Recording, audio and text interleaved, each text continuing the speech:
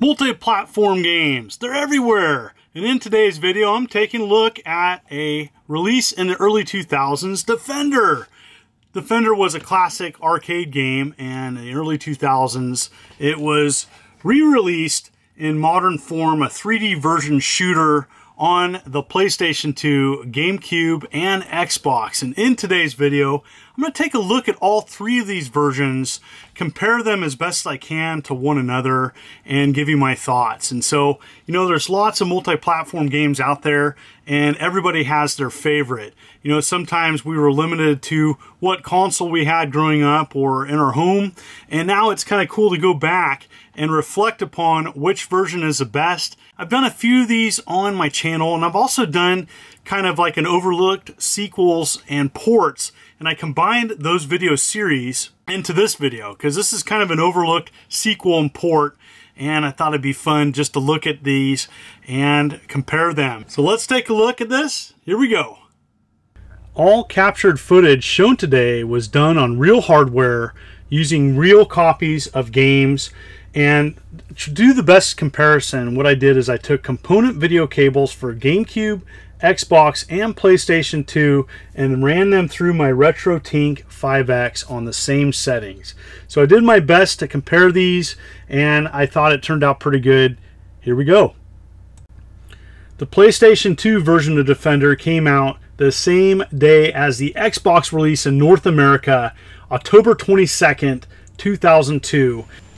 Defender did have a subtitle outside of North America for all mankind, and if you're a fan of games such as Colony Wars, well, this isn't as good as that. I think this is a great game if you like those types of games. Now, this is not Rogue Squadron. This is more kind of Jedi Starfighter, maybe. But I, you know, premise is simple.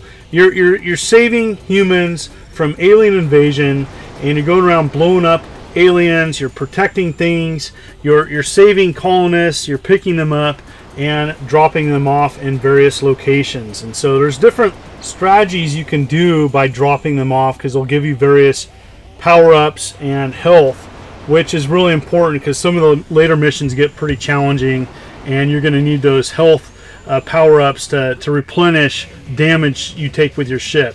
Uh, you know, uh, this game is about eight hours in length. Uh, it might be give or take a few hours if you if you play it faster, but uh, I enjoyed what I played, and it was nice to go back to this classic.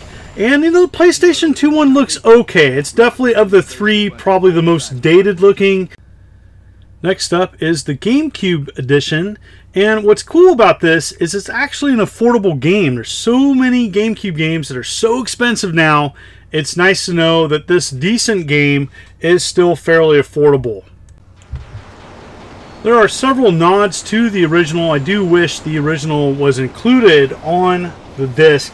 But here's the GameCube one. I think it looks a little bit better than the PlayStation 2. Def definitely color and effects seem to be a little bit enhanced. You know, with that powerful processor the GameCube had versus the PlayStation 2.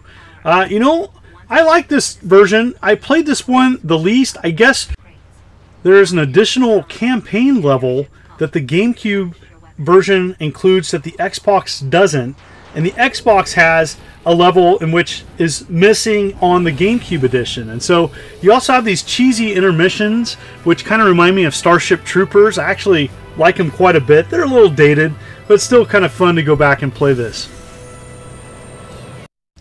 The whole idea for this video started with me noticing Defender on my shelf, and it was a game I don't remember playing that much, and I thought I'd check it out, and I'm glad I did. So I took it off the shelf and I popped it in my original Xbox, and here we go.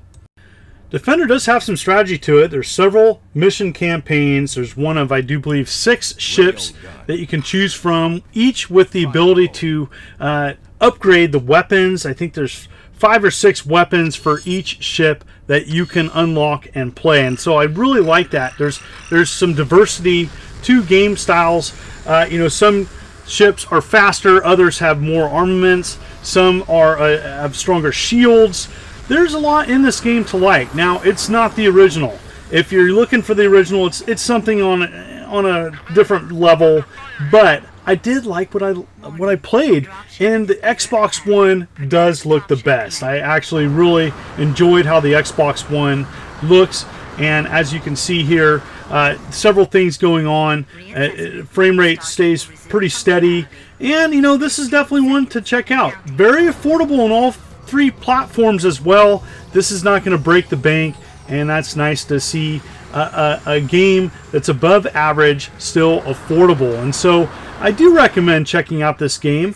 And, you know, the Xbox One, to me, gets the nod. I do think it looks the best. You know, the Xbox was the most powerful of the three consoles.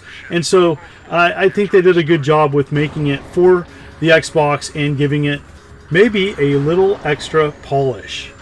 The Xbox version does have a mission that is Missing from the GameCube one, the Viking 2 site. There also is a Game Boy Advance version, but I covered that in my bad Game Boy Advance games, and it is terrible. Nothing like this. Stick with the console versions. And here's comparing all three. I thought it'd be fun to show them side by side the best I could. Here's the PlayStation 2, the GameCube, and the Xbox, showing the various menus. Here's the ship selection. Um, you know, there's there's just slight differences with each version. You know, definitely the nod for me goes to the Xbox, but you know, you be the judge. You know, it's pretty close.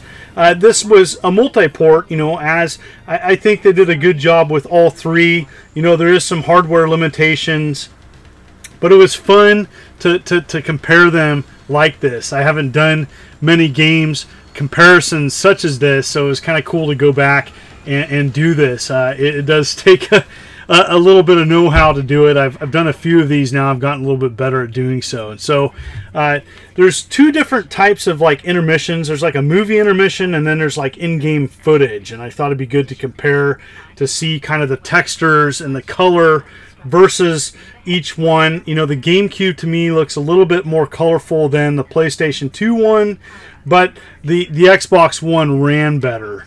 And so uh, it kind of interesting up here too with this little uh, in-game intermission. I, I, don't know whatever reason the Xbox One the the the the, the colonist is like zoomed out. And I thought that was an interesting difference. You know, it's kind of neat when you compare games from one another, just the subtle differences that there are.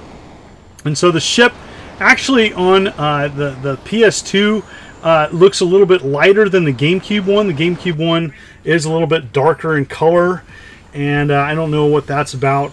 But you know, uh, it's just kind of neat to see the differences. And you know, here's uh, saving the colonist, and uh, here's one of the in-game uh, movies that I was talking about, the the CG uh, scenes, and you know, it definitely reminds me of Starship Troopers for sure which was popular at the time. And so, uh, yeah, uh, you know, whatever version that you choose to go with, uh, I think I think there there's going to be subtle differences, but either one, any one of these three that you'd go with is going to be an excellent choice. And so this is this is a kind of a cool level where you're you're you're fending off your base uh, from alien attack, and and uh, there's an escort scene at the end where you have to uh, pick up like a like a tank and take it to the Stargate, uh, which is kind of crazy. So definitely, definitely, this is you know, kind of ripping off some other science fiction, uh, you know, uh, movies to make its own. But you know, I thought it was pretty good.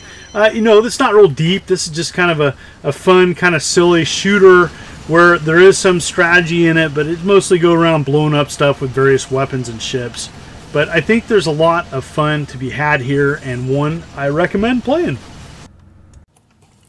So there you have it.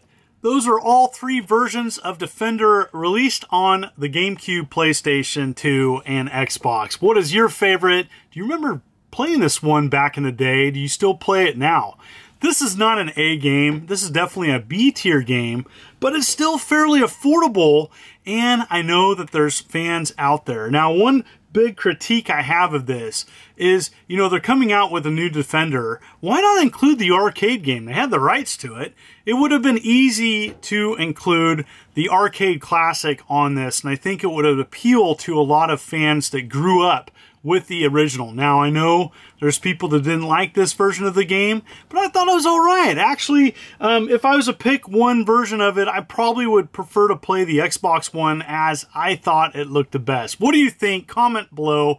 Is there other comparisons you want me to do on my channel? What other games were released on all three of those, GameCube, PlayStation 2, and Xbox, that you want me to compare?